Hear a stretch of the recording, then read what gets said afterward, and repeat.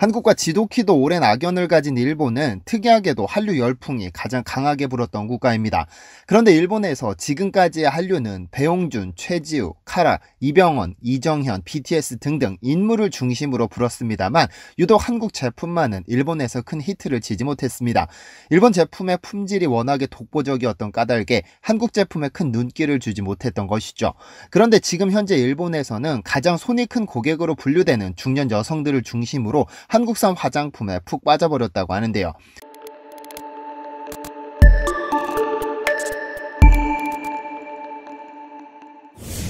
안녕하세요. 디스멘터리입니다. 영원한 아름다움은 모든 여성들의 로망입니다. 나이가 들어갈수록 수분이 빠져나가면서 피부가 탄력을 잃고 20대의 아리따웠던 모습이 사라져가는 것은 어쩌면 여성들에게는 가장 잔인한 고통일지도 모릅니다.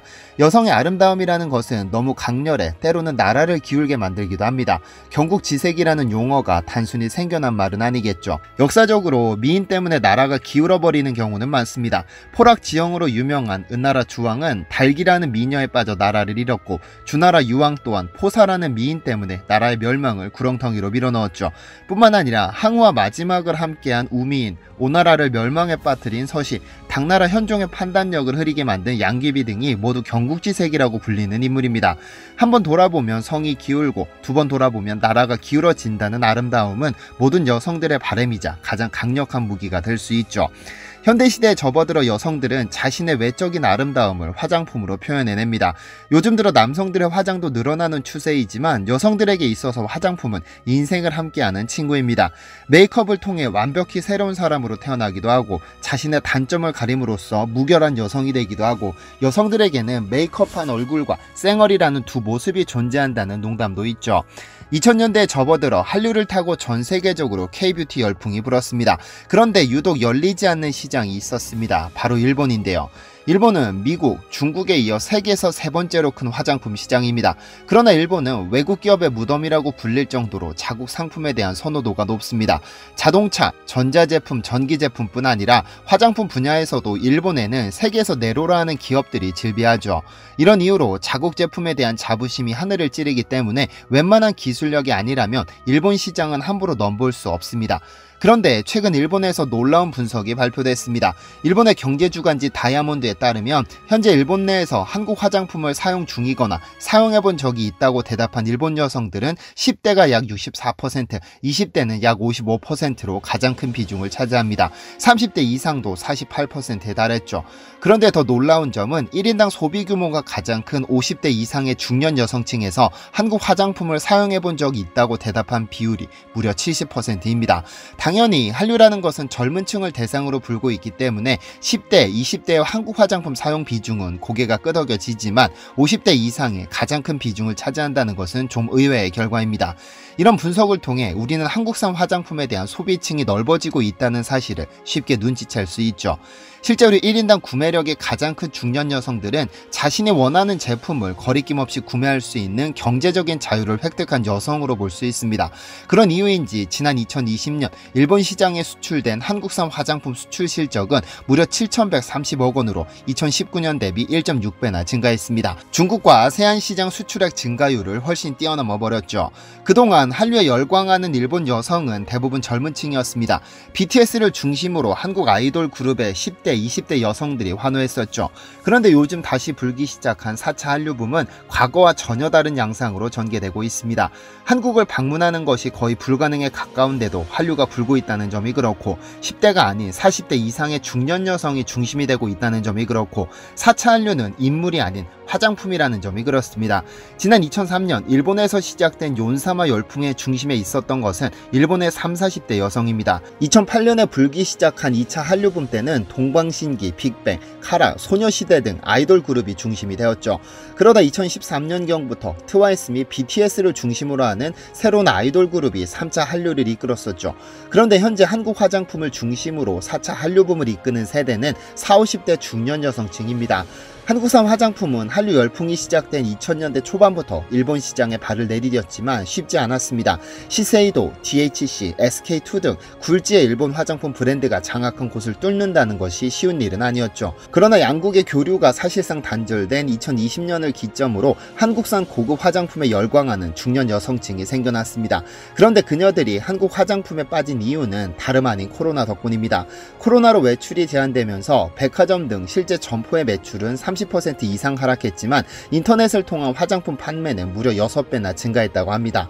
특히 마스크 착용으로 손상되는 얼굴 피부와 아이라인 화장품 판매가 가장 많이 늘었죠. 지난 2019년부터 시작된 한일 외교 관계는 바닥을 예측할 수 없을 만큼 악화일로를 걸었고 2020년에 시작된 코로나는 기름을 부은 격이었습니다. 하지만 아이러니하게도 한국 드라마와 케이팝은 역대급 인기를 끌면서 일본 언론들도 앞다퉈 이를 보도했습니다. 아사히, 요미우리 등의 주류 매체는 일 본의 한류를 시기별로 나누고 영화 기생충과 넷플릭스의 사랑의 불시착, 이태원 클라스 등의 흥행을 매개로 나타난 현상을 4차 한류로 직접 규정하기도 했습니다.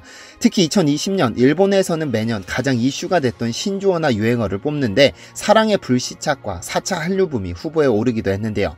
이런 현상과 관련해 일본의 한 전문가는 한국 드라마 붐의 여파로 한국산 화장품에 관심을 갖는 이들이 늘다 보니 소비도 늘었다면서 4차 한류붐의 경우 젊은 여성층에 국한되던 2차, 3차 한류와는 달리 1차 한류붐처럼 중년 세대가 이끌고 있다고 설명했습니다. 즉 한국 콘텐츠에 대한 일본의 모든 여성 연령층이 관심을 갖는다는 것이죠. 그렇다고 한국산 화장품의 인기가 드라마 특수 때문만은 아닙니다. 제품 자체의 경쟁력도 상당히 갖추고 있죠. 보통 일본에서는 한국 한국산 화장품은 저렴하지만 품질이 뛰어나 가성비 값 제품으로 인식됐습니다. 즉 아무리 돈이 많은 여성이라도 좋지도 않은 품질에 비싼 돈을 지불하지는 않습니다. 또한 비슷한 가격대의 일본 제품과 비교했을 때 눈길을 끄는 제품 디자인도 한국산 화장품의 강점입니다. 한국 브랜드들은 새로운 화장품 기능을 추가하기 위해 어성초 등의 새로운 성분을 끊임없이 연구하고 차별화를 위해 부단히 노력합니다. 결과적으로 이런 연구 개발과 노력 끝에 차별화된 제품이 나오는 것이죠. 그러나 뭐니 뭐니 해도 가장 큰 장점은 새로운 제품이 끊임없이 출시된다는 점입니다. 한국산 화장품은 일본산에 비해 상대적으로 제품 라이프 사이클이 짧아 신제품 출시가 많습니다. 특히 유행에 민감한 10대와 20대 여성들 사이에서 한국 트렌드 아이템이라는 단어는 구매를 부르는 마법의 단어라고 하죠. 그만큼 한국 브랜드들이 얼마나 빠른 주기로 신제품을 출시하는지 알 수 있는 대목인데요. 일본의 화장품 시장은 규모가 큰 만큼 성숙기에 접어든 시장으로 다른 산업처럼 보수적이고 오프라인 유통이 중요한 역할을 하는 것으로 알려졌습니다. 소매점 및 편집 매장 등 다양한 종류의 판매 채널이 잘 갖춰져 있고 소비자들이 직접 제품을 테스트해보고 구매하는 것을 즐기기 때문이죠. 그러나 코로나 여파로 오프라인 매출이 크게 감소한 반면 온라인 매출이 비약적으로 증가하면서 온라인 판매가 대세로 떠올랐습니다. 그렇다 보니 화장품 구매 정보를 얻기 위해 SNS가 가장 활발하게 사용 되는데 실제로 일본 여대생 100명 중 70명이 SNS를 통해 화장품 구매 정보를 얻는다고 밝 히기도 했습니다. 코트라가 내놓은 일본 K-뷰티 트렌드에 따르면 일본에서 한국 화장품은 SNS 등을 통해 디지털 마케팅을 진행한 후 아마존 등의 해외 직구 사이트에서 판매된 후 오프라인으로 출시하는 전철을 밟습니다. 그래서 일본에서 한국산 화장품 브랜드들은 일본 브랜드에 비해 온라인 판매와 SNS를 활용한 디지털 마케팅에 매우 뛰어나 상대적으로 일본 화장품 브랜드들의 판매 실 실적이 감소할 수밖에 없죠.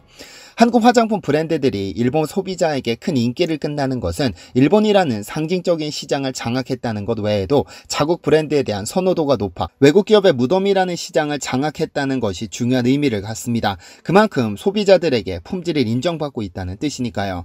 현재 이 트렌드가 드라마 인기와 함께 식어버리는 것이 아니라 아주 오랫동안 유지되기를 기대합니다. 시청해주셔서 감사합니다.